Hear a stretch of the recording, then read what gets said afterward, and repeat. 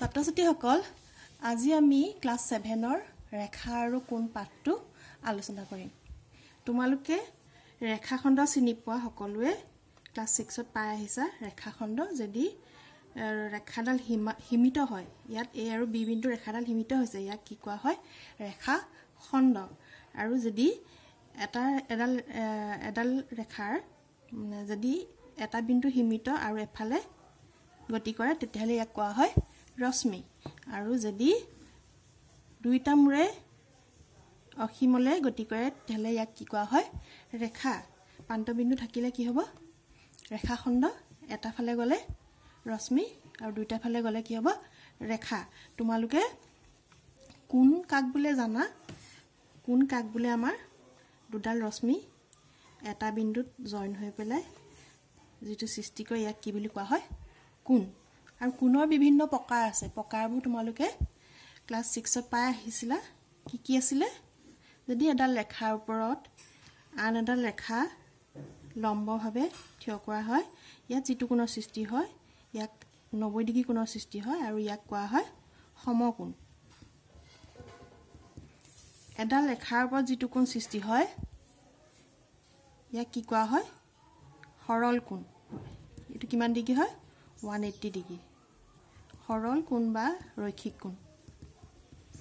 আৰু যিটো কোণ এই উল্টা ফালে সৃষ্টি হয় তাক কোৱা হয় প্ৰবৃদ্ধ কোণ। প্ৰবৃদ্ধ কোণ বা প্ৰত্যাৱৰ্তী কোণ। এতিয়া চাবা সূক্ষ্ম কোণ স্থূল কোণ সৰল কোণ এইখিনি কি আছিলে? সূক্ষ্ম কোণ কাক কোৱা হয়? যিবোৰ কোণৰ যিবোৰ কোণৰ মাপ জিৰ' ডিগ্ৰীতকৈ ডাঙৰ আৰু নব্বৈ ডিগ্ৰীতকৈ সৰু সেইবোৰ কোৱা হয় সূক্ষ্ম কোণ। স্থূল কোণ কাক কোৱা হয়? যিটো কোণৰ মাপ এই নব্বৈ ডিগ্ৰীতকৈ ডাঙৰ আৰু এশ আশী ডিগ্ৰীতকৈ সৰু ইয়াক কোৱা হয় স্থূল কোণ। এইটো হ'ল সূক্ষ্ম কোণ আৰু এইটো হ'ল স্থূল কোণ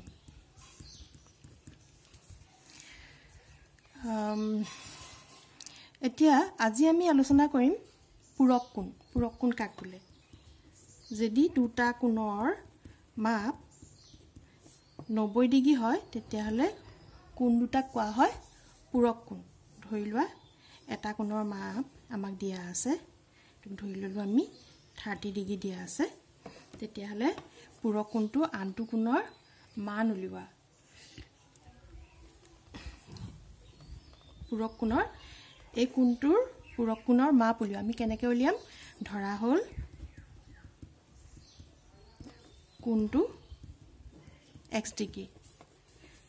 তেন্তে পূৰক কোণ মানে কি আছিলে? দুটা কোণ এক্স প্লাছ থাৰ্টি ডিগ্ৰী সমান কিমান হ'ব? পূৰক কোণ মানে দুটা কোণৰ সমষ্টি নব্বৈ ডিগ্ৰী।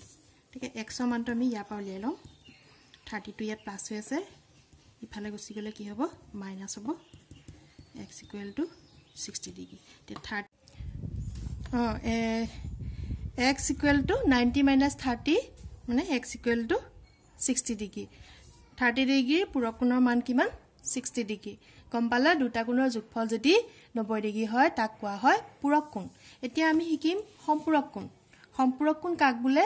যদি দুটা কোণৰ সমষ্টি এশ আশী ডিগ্ৰী হয় তেতিয়াহ'লে কোণ দুটাক কোৱা হয়?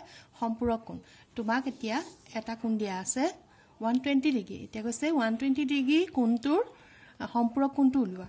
ধৰা হ'ল কোণটো আমি ধৰি লৈছোঁ Y degree. Y plus one twenty ইকুৱেলটো কিমান হ'ব? এশ আশী ডিগ্ৰী। হয়নে সম্পূৰক কোণৰ দুটা কোণৰ যোগফল সম্পূৰক কোণ হ'বলৈ কিমান ডিগ্ৰী হ'ব লাগিব? এশ আশী ডিগ্ৰী। ইয়াৰ পৰা আমি ৱাই মানটো উলিয়াই ল'ম। ওৱান এইট্টি ওৱান টুৱেণ্টিও এইফালে আছে। সমান চিহ্ন এইফালে গ'লে কি হ'ব? মাইনাছ হ'ব।